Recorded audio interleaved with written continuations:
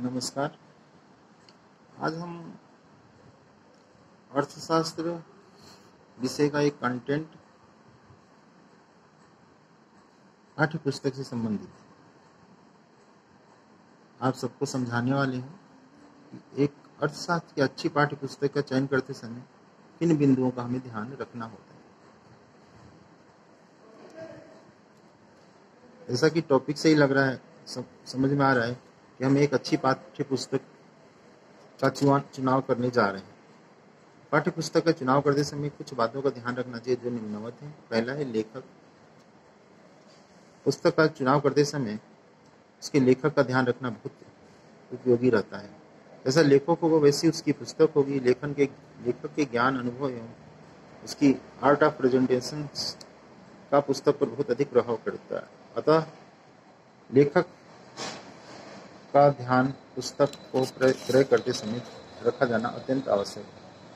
फिर दूसरा है पुस्तक की भाषा शैली।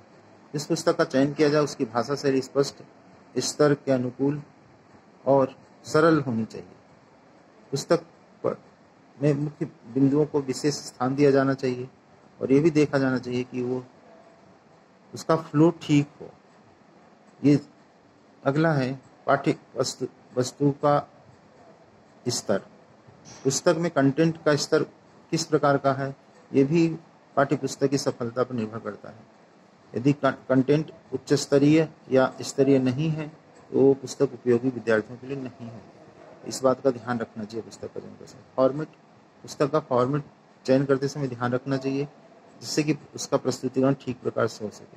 इसमें मार्जिन शीर्षक चार्ट ग्राफ्स ये सब बातें स्पष्ट रूप से और बिंदुवार समझाई गई है।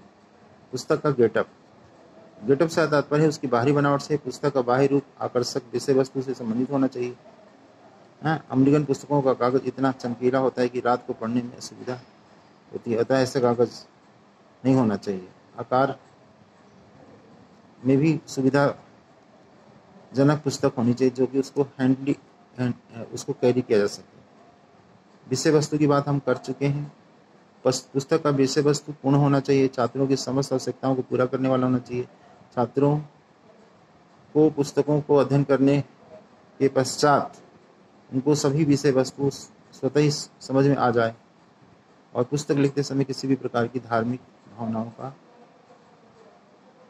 ठेस न पहुँचे, इस बात का भी ध्यान रखा जाना चाहिए।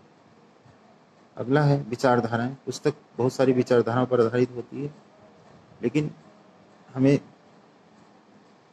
विचारधाराओं से यहाँ अभिप्राय, मनोवैज्ञानिक तरीके से पुस्तक की रचना करने से। पुस्तक में कुछ अन्य बातें भी होनी चाहिए, जैसे उसमें उसमें रुचकर बनाने के लिए चार्ट, ग्राफ, वैज्ञानिक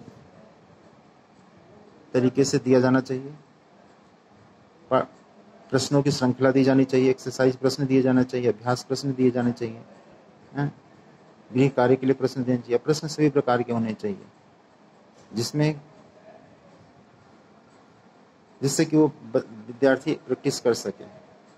और अंत में रेफरेंस बुक्स भी दी जानी चाहिए, जिससे कि उसके तथ्यों का विद्यार्थी मैच कर सके। पुस्तक चयन करते समय कुछ ध्यान रखने वाली बातें ये भी है कि पुस्तक में भाषा की त्रुटियाँ नहीं होनी चाहिए, पुस्तक की कीमत अधिक नहीं होनी चाहिए, और पुस्तक मार्केट में हमेशा उपलब्ध होनी चाहिए। और जब भी उसमें संशोधन हो उसका नवीन संस्करण ही लेना चाहिए। पुराने संस्करण को नहीं लेना चाहिए। धन्यवाद।